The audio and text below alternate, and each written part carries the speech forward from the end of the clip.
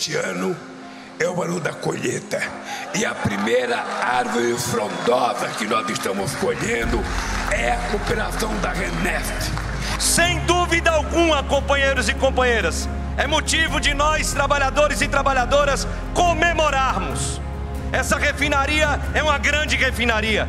Essa refinaria trará o retorno de seu investimento em apenas cinco anos e a refinaria mais moderna e mais nova de todo o continente americano, inclusive Estados Unidos e Canadá. Essa é a refinaria da volta por cima.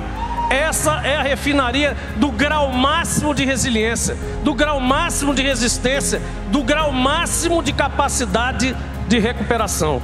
Investimentos de quase 8 bilhões de reais que vão gerar mais de 30 mil empregos diretos e indiretos que serão fundamentais para o desenvolvimento de Pernambuco e do nosso Nordeste.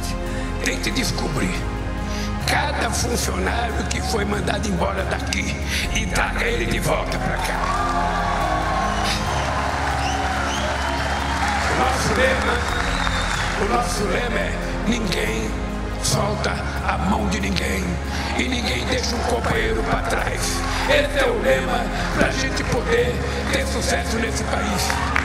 Passo aqui hoje está dado. Numa fábrica moderna, numa indústria moderna, que vai passar por transição energética no futuro, vai poder cumprir o seu papel, que vai gerar os empregos diretos e vai gerar também uma capacidade de arrecadação muito maior para esses municípios e para o estado de Pernambuco.